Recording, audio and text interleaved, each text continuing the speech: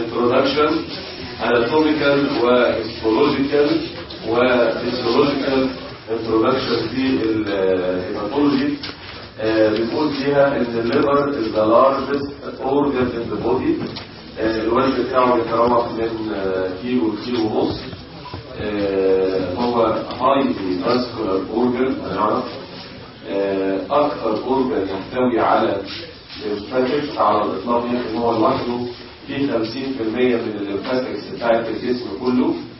آه، كمان من المواصفات بتاعته آه، من المواصفات بتاعت الليفر إن هو بياخد 30% من ال resting cardiac output يعني هو حاجة highly vascular محتاج ده كتير.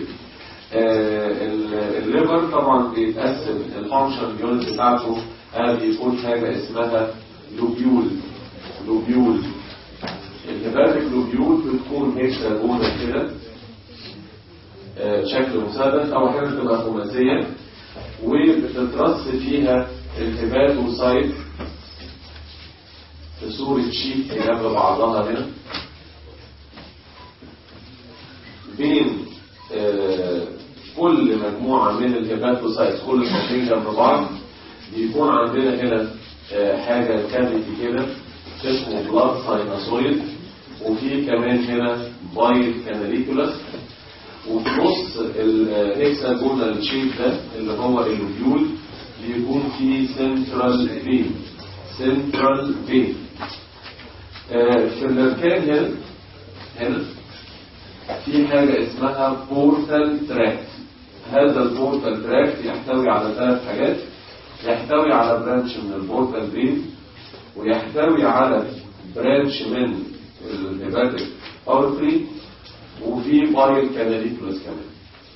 ال- الغذاء بيجي للل liver أو لما نقول blood supply of liver هو عبارة عن حاجتين. آه، في حاجة آه، بتجيب ال nutrition وفي artery تاني بيجيب الاكسجين ال nutrition وده يعتبر 80% من التغذية بتاعة ال liver. ده بيكون عن طريق ال portal يبقى الغذاء أو النيوتريشن رايح للليفر عن طريق ال portal بينما الاكسجين رايح للل liver عن طريق ال hepatic artery يبقى ال nutrition عن طريق ال- ال- ال portal vein وال portal vein ده ال portal vein ده متكون من حاجتين. متكون من splenic و superior mesenteric اتحاد الاثنين مع بعض بيعمل حاجة اسمها portal vein طبعا أنا محتاج الكلام ده كتير. آه، يدخلوا هما الاثنين سواء ال portal أو ال hepatic artery يتقسموا ل branchات. في كل ركن كده ده بيكون عندنا portal tract. يحتوي على branch من ال vein عشان ال nutrition و branch من ال artery عشان الأكسجين و bile canaliculus طيب إزاي الدورة الدموية ها بتمشي في ال liver إزاي؟ الأمور بتمشي إزاي؟ ها كالاتي ال nutrition والاكسجين بيدخلوا بيوصلوا ل branchات صغيرة عند ال portal veins آه عند ال portal tract آسف اللي هو هيصب بعد كده في ال blood sinusoid ال blood sinusoid دي مهمة جدا. ال blood sinusoid هي همزة الوصل بين ال artery وال vein إحنا في الظروف العادية في أي مكان في الجسم الدم بيمشي في artery ثم arteriole ثم capillary ثم venule ثم vein ال liver لا يحتوي على capillaries ال liver لا يحتوي على capillaries وده كلام مهم. كلام مهم ليه؟ هو الدنيا طب هتمشي إزاي؟ الأمور هتمشي إزاي؟ ال blood sinusoid دي تحل محل ال capillaries بالظبط. بمعنى إن دخل ال nutrition ودخل الأكسجين آه، ادوا branchات صغيرة راحوا لل portal tract من ال portal tract هنا آه، كان فيها branch من ده و branch من ده هيصبوا الأكسجين والغذاء اللي فيهم النيوتريشن للبلاد ساينوسويد البلاد ساينوسويد هتدي للهيباتوسايت ال hepatocyte هتقوم بالوظيفة بتاعتها هتعمل اللي هتعمله. بعد كده ال end product بتاعتها أصبها تاني في ال blood sinusoid يبقى ال blood sinusoid ادت ال hepatocytes وخدت كمان منها. المرة دي بقى ال hepatocytes هتدي ليه ال central vein central vein ده في نص ال hepatic lobule وال central veins كلهم كلهم اللي في ال liver بيتجمعوا في الآخر ويعملوا two hepatic veins اللي هيصبوا مباشرة في ال inferior vena cava تمام؟ ويلف الدم تاني وتستمر الحياة. يبقى هو دخل ال nutrition عن طريق ال portal ودخل الأكسجين عن طريق ال hepatic ودخلوا يقسموا ال branchات في ال portal tract بقى عندنا في البورتال برانش من الهيباتيك ارتري وبرانش من البورتال فين صبوا في ال blood sinusoid ال blood sinusoid ادت ال hepatocytes وخدت منها تاني وبعد كده آه، ال blood sinusoid دي آه، لما خدت منها صبت في ال central vein ال central veins كلها بتتجمع تعمل two hepatic veins إلى آه، ال inferior vena ماشي كده الحال؟ طيب في حاجتين مهمين جدا هقولهم. آه، ال blood sinusoid دي لما ناخدها كده نكبرها بره شكلها تقريبا عامل كده زي ال cavity كده. متبطنة ب epithelium. بس هذا ال epithelium فيه صفة وحشة بيكون fenestrated. يعني إيه fenestrated؟ يعني بعيد كده عن بعض ومش لازق في بعض. مش لازق في بعض. ويحتوي على خلايا خلايا موجودة كده كتيرة.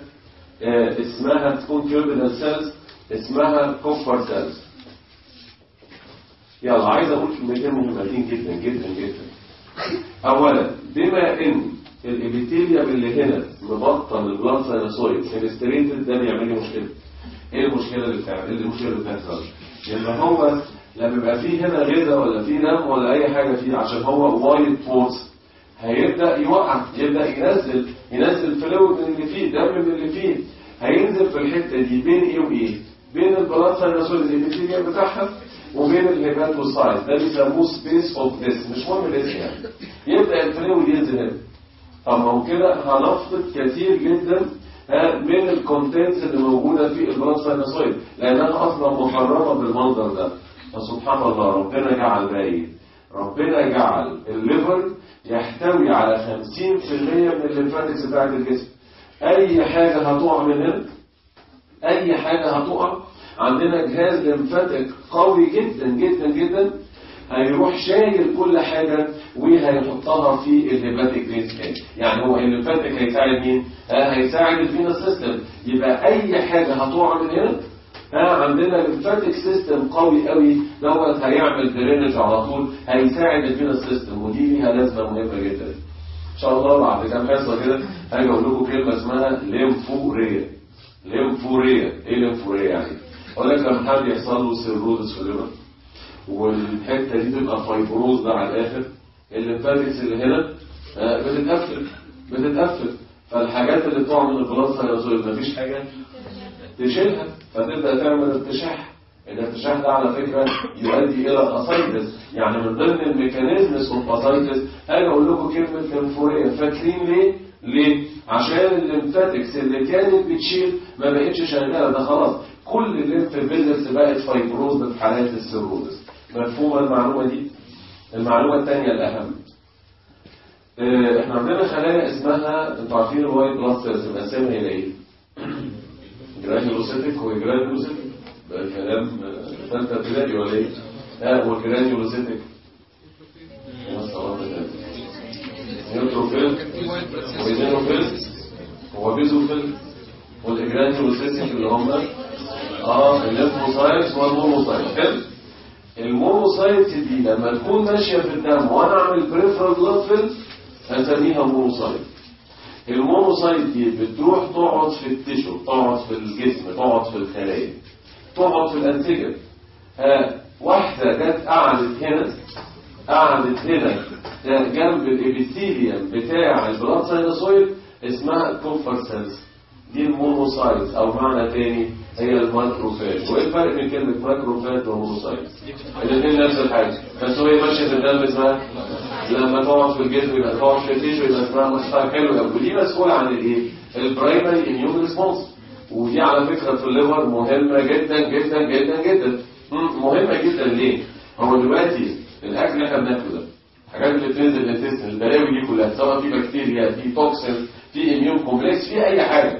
مش الحاجات دي كلها بيحصل لها absorption وتيجي تمشي مع الدم طيب ما لما تمشي مع ال blood stream هنا تيجي ال Kupffer cells دي وتاخدها يعني كان عايز أقول لك ان الليفر يساعد في الاميونيتي الليفر يساعد في الاميونيتي عايز تقول إيه عايز أقول ان مريض ال liver cell failure هو مريض immunocompromised هو مريض ها ضايع ضايع ليه مناعته ضايعه إيه اللي مضيعها مناعته ضايعه لأن هو ما عندوش هذه الخلايا المهمة. لأن خلاص كل حاجة بقت cirrhotic اتفهم الكلام لغايه دلوقتي؟ في أي مشاكل؟ ده كلام بدائي جدا وسهل جدا. آه نيجي لحتة ثانية بس أنتوا بتتكلموا بقى معايا. physiology of liver لما أجي أسأل كده أي حد أنت دكتور فطالب أهو الطب حد تقريبا بيقول لك إيه يا ابني وظيفة الكبد؟ آه إيه وظيفة ال liver؟ حاجات كتير ما عايزين بقى حاجة من الحاجات كتير. ها إيه بقى؟ واحد هل ليه وظيفة تصنيعية بيصنع حاجات؟ بيصنع من أشهر الحاجات ال plasma protein. ال plasma protein واشهر واحد فيهم ال albumin. وال albumin ده مهم في جسمنا يا نهار ابيض ده داخل في تكوين العضلات آه داخل في تكوين تقريبا structures كتيرة ومحافظ على ال oncotic pressure دي لوحدها كفاية. مش كده ولا إيه؟ آه عشان كده لما بيحصل cell failure أهم كلمه بنقولها hypoalbuminemia لما بيحصل generalized edema وقصايص والقصة دي آه بيصنع الجلوبلين اللي هم اللي هم ال immune اللي هم الحاجات ال immune system ال antibodies ال globulin ال gamma globulin هو بيصنعها. وال alpha globulin كمان بيصنعها. بيصنع prothrombin prothrombin ده إيه؟ آه ده مهم ولا مش مهم؟ مهم جدا. عشان كده مريض ال liver cell failure عنده hypoprothrombinemia يبقى عنده إيه؟ يبقى عنده tendency فدي حاجة وظيفة تصنيعية مهمة جدا. طيب ليه وظيفة ثانية؟ ليه وظيفة في ال metabolism؟ آه في ال metabolism آه هنقول هرمون بس نقول ال metabolism الأول. ال metabolism على مستوى الكربوهيدرات. إحنا دلوقتي آه انت كلت بعد ما كلت السكر بدأ إيه؟ يعلى. السكر ده زيادة عن احتياجاتك يجي الانسولين ياخده يدخله جوه الخلايا يعمل له utilization طب هو زيادة برضه؟ آه يتخزن في ال liver في صورة جلايكوجين اسم العملية دي؟ glycogenesis يعني أنا بكون إيه؟ آه بكون جلايكوجين من الجلوكوز طب أنا ليه بحول الجلوكوز إلى جلايكوجين عشان الجلوكوز ده هيتفكر. آه محتاج إيه؟ محتاج شوالين ثلاثة لكن الجلايكوجين لا دي عملة كبيرة يتخزن بالراحة. طب افرض ان أنا عبيت كل ال storage بتاع الجلايكوجين يروح مسلف شوية لل fat. يعمل إيه؟ lipogenesis يبقى مين الحاجات دي بتحصل فين؟ في ال liver. يؤدي إلى glycogenesis و lipogenesis ها طيب. جيت حضرتك دلوقتي ما أكلتش. حضرتك صايم. حضرتك أنت مش معقول طول النهار عمال تاكل كده ها مش كده ولا إيه؟ طب في الوقت اللي أنت مش بتاكل فيه وجسمك محتاج طاقة يبدأ يحصل العكس يحصل إيه؟ يحصل glyco آه الجلوكوز يبدأ يتكسر المهم يبدأ يتكسر. ها وكمان لو أنت خلصت تاخد من ال fat ولو خلصت. يحصل gluconeogenesis إنتوا فاكرين الحاجات دي ولا لأ؟ يعني يبدأ يحول لك حاجات ثانية زي ال amino acid يحولها إلى جلوكوز عشان تديك طاقة. كل الحاجات دي بتحصل فين؟ بتحصل في ال liver وهنا هنقول معلومة. مريض ال liver disease عنده مشاكل في الجلوكوز دي. ممكن بال hypo أحيانا ممكن كلمة نعرفها بعدين impaired glucose tolerance يعني حاجة كده هنقولها. والسؤال اللي انت هتتسأله في حياتك العملية وده على فكرة أنا اتسألته مليون مرة. ها دكتور أنا عندي الكبد أصوم ولا ما أصومش؟ أصوم ولا ما أصومش؟ المعادلة هي ببساطة. الجلايكوجين اللي في جسمك أنت اللي في ال liver بتاعك تقريبا 6 جرام ودول بيكفوا حضرتك صيام من 24 إلى 36 ساعة. لأن إذا كان ال liver يعمل بإيه؟ بكفاءة. حلو كده؟ واحد عنده already liver cell failure ال storage بتاعه لا يتخطى النص جرام يعني إيه؟ يعني ما يصومش طالما في liver cell failure ما فيش حاجة اسمها الصوم أصلا اللي في جسمك ده مش هيكفيك 3 4 ساعات. عشان كده ما ينفعش حد عنده liver cell failure ويصوم وإلا هيدخل فيه hypoglycemia فظيعه فاهمين ولا لأ؟ وأنا محوش فين أنا محوش في ال liver طب ما هو مفيش liver دلوقتي. مش بيقوم بالوظيفة بتاعته. يبقى الدور مهم جدا مع الكربوهيدرات. طب دور ال liver مع ال fat. لأن الحته دي فيها فتن شوية. هو ال liver وال fat.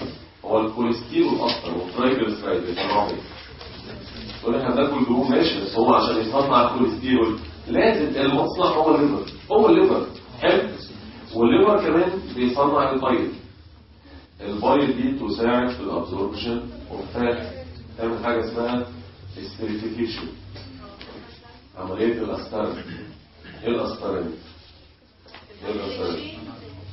إيه؟ إيه الأسترن دي؟ حولها من fat soluble إلى water soluble فيسهل امتصاصها إزاي؟ أنتوا بناتوا فاهمين يعني.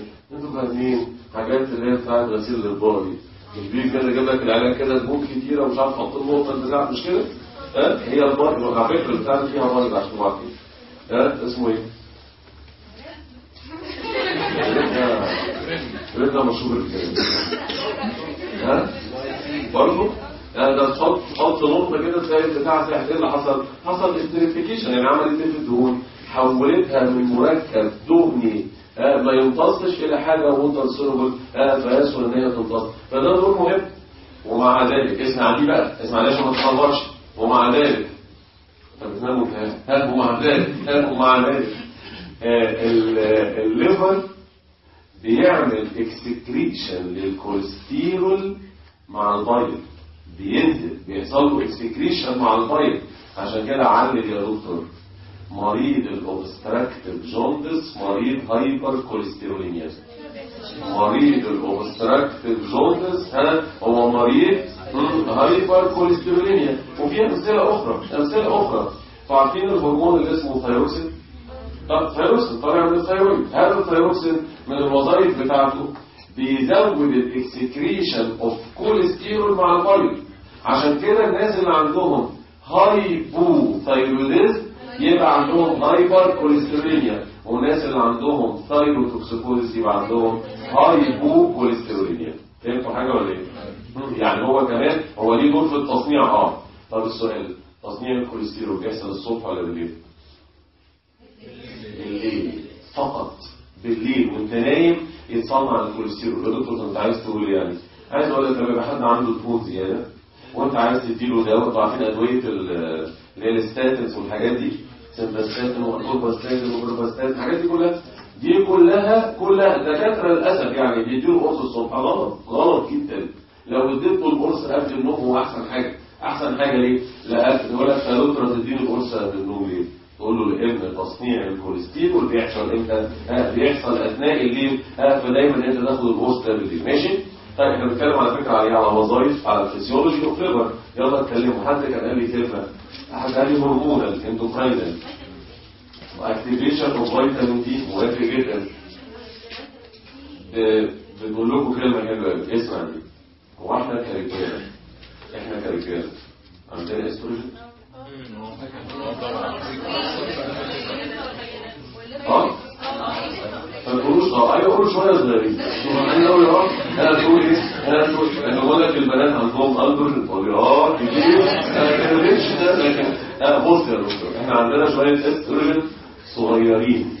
بيطلعوا من ال suprarenal cortex من حتة اسمها zona reticularis بس ال liver بيعمل لهم metabolism بيخلصنا منهم وده بيفسر حاجة. الناس اللي عندهم liver cell failure هنتكلم عليها في feminization بس ليها mechanisms ات أخرى هنتكلم عليها دلوقتي. آه طبعا هنتكلم عليه صح. هو بيبقى من المريض نفسه ولا من ال drug؟ لا ممكن ال liver cell failure ال liver cell failure يعمل feminization مش عايز كلام لأن الإستروجين بيبدأ يزيد. وليها طبعا بس ليها mechanisms ات هنقولها إن شاء الله. الحاجة الثانية مش هنيجي نمسك في دي بس استنى. استنى. هو دلوقتي كلكم عارفين آه، ال RAAS ال renin angiotensin system هو مش كان في رينين كان بيشتغل على مين؟ طب وال angiotensinogen ده أساسا طالع مين؟ وده هرمون ولا هرمون ال function يبقى هو بيطلع مين؟ ال angiotensinogen ده مهم. إيه كمان؟ إيه كمان؟ عارفين ال growth hormone؟ بيطلع منين؟ لا تفكروا بيطلع منين؟ ده ما بيشتغلش كده. لازم يحصل له activation في ال liver. يتحول إلى حاجة اسمها somatomedin C أو insulin like growth hormone كده growth factor ودوت اللي هو ال functioning unit أنا استفدت إيه؟ أن ال growth hormone لوحده مش هيعرف يشتغل لازم يروح لمين؟ علل يا دكتور مريض ال chronic liver disease since childhood بيبقى short stature ليه؟ لأن ما حصلش activation لمين؟ لهذا ال growth hormone يعني الوظائف كتيرة ال aldosterone وال antidiuretic hormone على فكرة فوتوا لي أنا الحاجات دي هتتقال تفصيلا يعني ال aldosterone وال antidiuretic hormone آه، دول بيطلعوا من أماكنهم. الالدوستيرون من الزونا جلوميروزا والاندروتيك هرمون من الهايبوثالاموس ثم البوستير بيتري دول أصلا بيتكسروا في ال liver. عشان كده مريض ال liver بيزيد عنده ال aldosterone liver cell عنده زيادة في ال aldosterone وال antidiuretic hormone وده من الحاجات اللي بتساعد في ال edema وال ascites ده من الحاجات اللي بتساعد في ال edema وال ascites اللي هو زيادة ال aldosterone وال antidiuretic hormone عشان ال metabolism بتاعهم آه، ما حصلش. وظيفة كمان للل liver. إيه رأيكم لما أقول لكم detoxication موافقين؟ موافقين جدا عشان الخلية اللي قلنا عليها اسمها إيه بقى؟ آه Kupffer cells دي وظيفتها. دي phagocytic cells يعني وأظن وظائف ال liver يعني تقعد تتكلم عليها كده. آه ما عندناش مشكلة. اقعد تتكلم. ليها ليه دور في ال coagulation ولا دي طبعا طبعا قلنا بيصنع إيه؟ خاصة مين أرقام كام؟ كونفرجن فاكتورز رقم كام؟ آه 1972 1972 2 و7 و9 و10 ها دول دايما ها دي وظيفة من وظائف الليفر المهمة يعني الليفر كله إيه؟ ها طب ليه دور في الاريثروبويتس تصنيع فرات الدم؟ 15% من الاريثروبويت الهرمون بيطلع من الليفر أقول لكم حاجة أصلا حتى اللي بيطلع من ال kidney بيحصل له activation في ال liver عشان كده علل مريض ال liver cell failure عنده أنيميا كتير بس دي واحدة منهم إن الاريثروبويت مش موجود أو ما حصلوش activation كويس. طبعا الصفحة ونص دول قراءة فقط عمر ما حد هيجي يقول لك سؤال نظري قول لي anatomy ولا histology ولا فيسيولوجي لكن لازم حاجات تكون انت كفايه حتى نيجي بقى لحاجة مهمة قوي حاجة مهمة قوي قوي قوي وأنا هبدأ بيها. أنا عامل عاملين كتاب ال hepatology ده آه، بترتيب الأحداث. يعني إيه؟